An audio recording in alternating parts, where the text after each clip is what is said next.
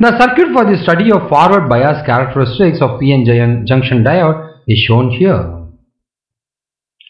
The voltage between the Pn Nin is increased from 0 in suitable equal steps and the corresponding steps are noted. So we are looking into the forward bias characteristics in a PN junction diode. So positive is connected to positive and negative is connected to negative. So the forward bias characteristics curve of the diode is shown here. Voltage is independent of the current. Therefore, it is plotted along x-axis and the current is dependent variable, it is plotted against y-axis. From the characteristics curve, the following conclusion can be made. The forward characteristic is not a straight line, hence the ratio of V divided by I is not a constant. Therefore, the diode is not obeying the Ohm's law.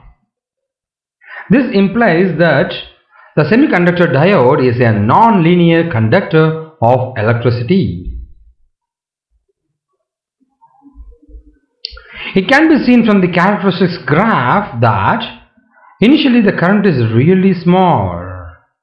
This is because the diode will start conducting only the external circuit or voltage overcomes the barrier potential of 0.7 volts.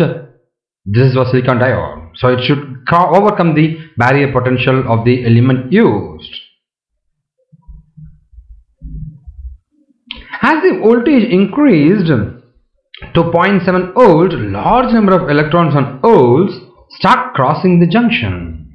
I'm trying to show the semiconductor P and N type, a positive ion and negative ion, and this is your holes and this is your electrons.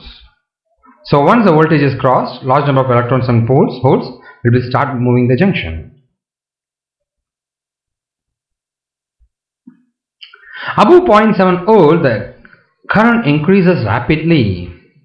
The voltage at which the current starts to increase rapidly is called as cut in voltage or knee voltage of the diode.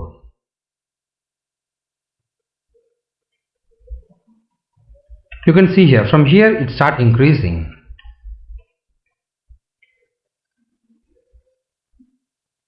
Now let's talk about the reverse bias characteristics of a PN junction diode. So positive, it's connected to positive but it should be connected to the negative and your negative should counter to be positive.